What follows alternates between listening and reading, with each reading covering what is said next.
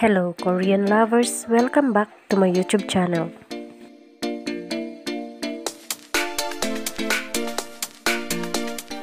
Lee Min Ho is rumored dating Kim Go Eun since 2020 after their hit drama The King Eternal Monarch ended.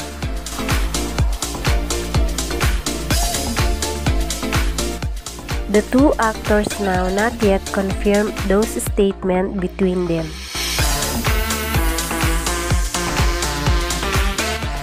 Lee Min Ho is now at Canada for the filming of Pachinko Season 2.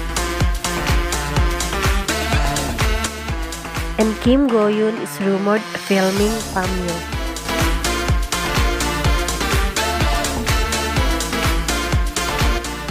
Lee Min Ho and Kim Go Eun are both talented and good actors.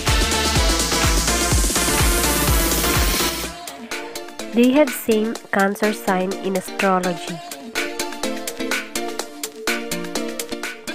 They always reveal proof of their relationship on social media.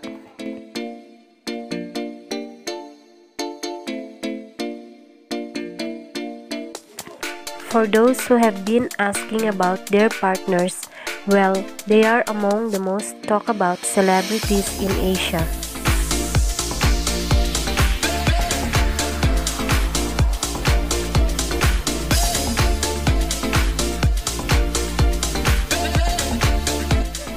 What can you say about this video?